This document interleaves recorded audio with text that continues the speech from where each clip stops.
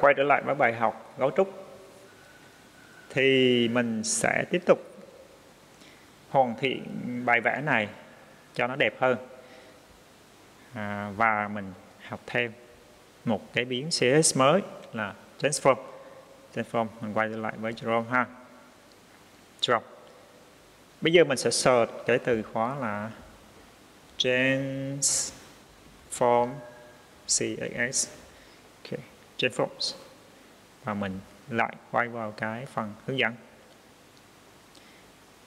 transform thì nó sẽ có kiểu là xoay rotate scale và scale okay. thì mình sẽ dùng mình học cái biến là scale uh, scale còn scale là các bạn tự học ha mình sẽ học scale bây giờ mình sẽ hướng dẫn các bạn làm scale. Bây giờ quay lại hai con mắt nè hai con mắt.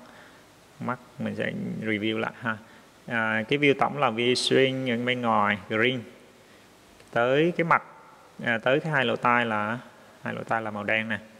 View này nè còn cái view này là cái mặt. Ok cái view này là cái mặt. Thì cái view mặt này nó là hai view trong cái view này có hai con mắt đây. Ok mắt. Thì đây là chính là hai mắt của mình đây là cái miệng mình cụng lại ha miệng mình cụng lại rồi miệng là mình xong rồi. Bây giờ tới hai con mắt thì mình dùng cái biến là trans transform equal nó ngoặc ra nó là thuộc tính. Bây giờ mình sẽ dùng là tier y mở ngoặc ra đóng ngoặc lại. À, mặt tròn trong đây luôn. 1.2 à mình sẽ thấy. Ồ nó đẩy ra đúng không? Đó là chuẩn thì scale thì có thể là scale x.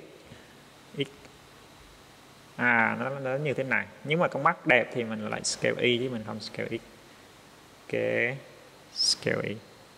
Tương tự như vậy mình có xuống mình scale y cho cái con mắt thứ hai. Đó là thuộc tính scale scale bây giờ các bạn sẽ thấy à, mình đã scale được mắt rồi đúng không? Scale được mắt rồi. Nhưng khuôn mặt khuôn mặt thì mình lại phải scale cái chiều chiều x. Như vậy trên khuôn mặt thì mình viết ở trên đây đúng không? Mình quay lại khuôn mặt là xem xét ở đây mình bay vô đây. Ok.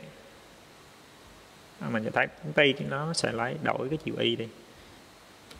Nhưng mà mình phải làm chiều x x, x là cái chiều ngang này các bạn. X là cái chiều này ok mình thấy scale quá thì mình chỉnh lại là 1.1 thôi. Ok. ok rất đẹp rồi đúng không? Ừ. à, như vậy là cái chiều chiều scale này người ta gọi là chiều scale x. Tăng kích cỡ nó lên là 1.1 1.1 là 1 nhân với kích cỡ hình tròn bình thường của nó. Còn scale chiều này là scale y giống như mình đã rồi, các bạn hiểu về transform và scale rồi. Mình sẽ tiếp tục với biến